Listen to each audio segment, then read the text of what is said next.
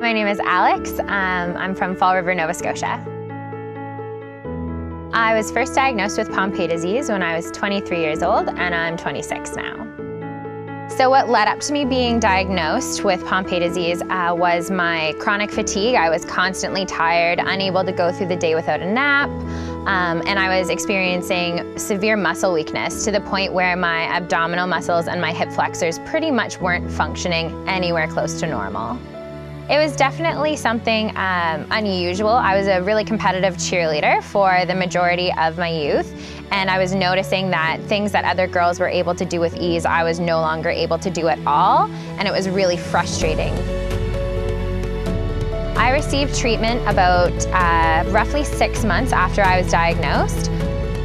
My life has improved drastically after the treatment. The level of fatigue has gone down immensely. I no longer need a nap to get through the day.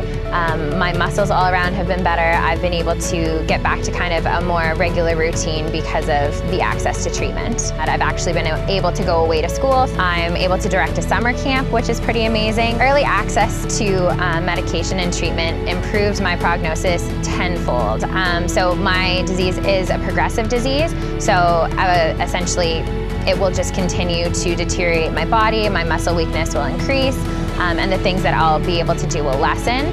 So having this treatment early means that my muscles are going to be able to stay as strong as they can for much longer than they would have without treatment. One of the most crucial parts of having a rare disease is the early access because it really does determine um, kind of your quality of life from there on out. So having a rare disease after being a competitive athlete is something that's really um, it's unfortunate and it's something that kind of tugs at your heartstrings because of my disease I had to stop competitive cheerleading at the level that I was at.